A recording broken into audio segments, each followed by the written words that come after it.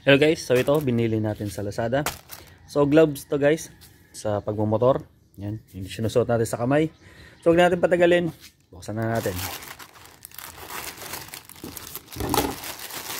Yan, may, may dalawa tayong biniling uh, gloves. Yan. Ito yung 150, ito naman yung 79 o 80 pesos na. Piso na lang kasi diferensya eh. So buksan natin yung mura.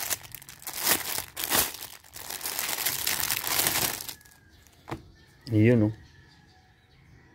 So yung pad niya dito, yan, uh, may pagka rubber. Then yan, to goma. Then tela. Ganda naman yung feel. Yung hawak. Yan. ang binili ko is uh, large. So, Ayan, sakto dito sa kanan. Pati kanan na nabuksan ko. Suot natin. Para makita natin yung itsura. Then, sarado. Ayan. Para tayong mag-MMA. diba? So, hindi yung full yung binili ka na globes, kundi yung half lang.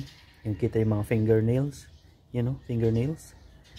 fingernails agad. Yung mga finger. Yung mga daliri natin. Yan. Ito maganda siya guys ha. Ah. Kahit nasa sa 80 pesos. Well, di ko lang sure kung tatagal. Pero madalang lang naman ako magmotor eh. Kaya, maganda siya. Itong 80 pesos. Para sa presyo na, sulit na to. So, tignan naman natin yung uh, mura. Ay, mas mahal pala. Yung 150 pesos. So, mas maganda yung packaging ng 150 ang binabayaran siguro dito yung packaging. Yan. So ito guys yung itsura nya yan. yung padding nya hindi siya rubber. Ano siya eh medyo mas madulas. Hindi siya katulad nito. Medyo para siyang non-skid pero dito medyo madulas. Para din siyang ano tela. So yung likod ganun din. Tela. Pero maganda maganda yung feel. Hindi siya rubbery. Yan. So tanggalin natin. So large din yung pinili ko dito. Buti kanan din yung napili ko. Sakto. Para parehas. Yan. So para siyang may belt.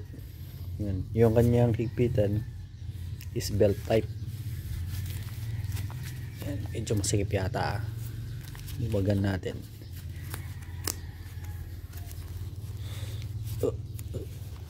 para mas masakit sa akin tong large na to ah. Yun. Masakit lang siya sa umpisa. Pero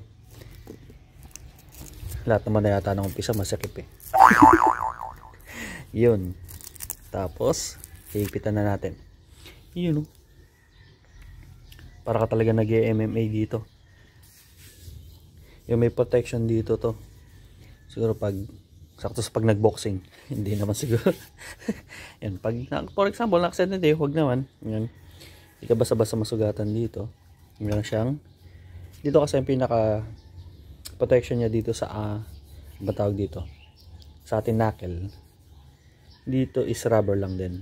Eto. While dito multipurpose oh. Ang dami.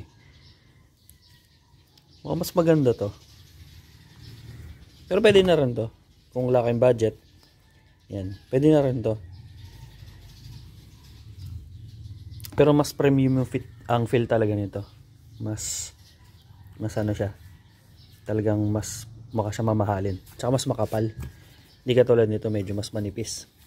Manipis. Ito makapal. Hmm. Pwede pang MMA. so.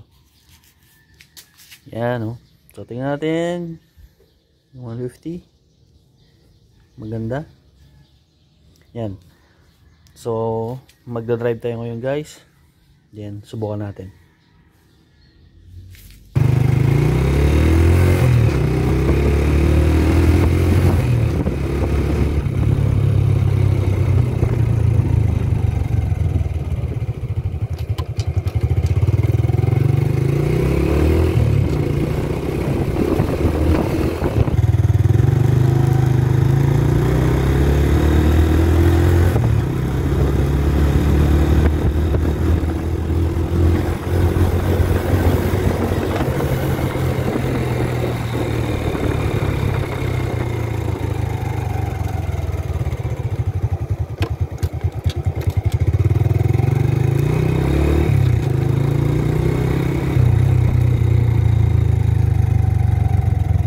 Na natin guys itong dalawang half finger globes.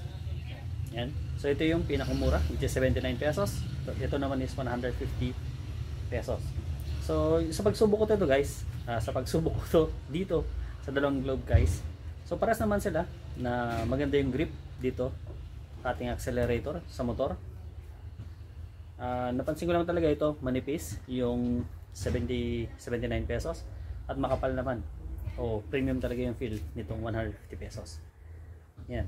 So kung ako guys, kung wala kayong budget guys, okay na to 79. So kung may budget kayo, itong 150. So yun guys. Thank you guys for watching. Until the next video.